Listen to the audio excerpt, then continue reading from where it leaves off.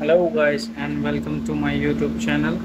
In this video i'm gonna show you how you can use tiktok in india without any restriction. So let's start the video.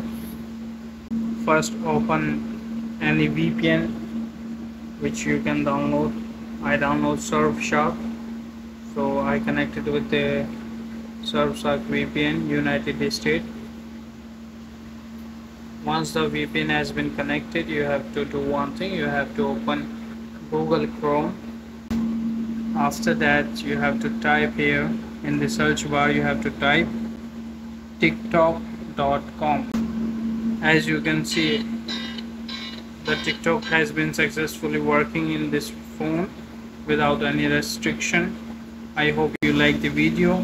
So please subscribe to my channel for more this kind of videos Thank you for watching.